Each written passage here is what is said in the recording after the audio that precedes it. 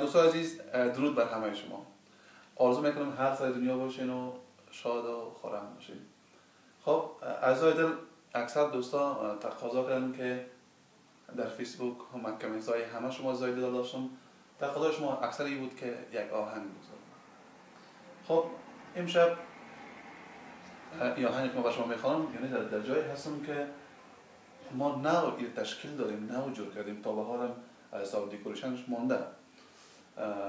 که ما یک آموزشگاه موسیقی و یک گروه هنری تحت نام تال که انشاءالله انقریب افتتاح میشه.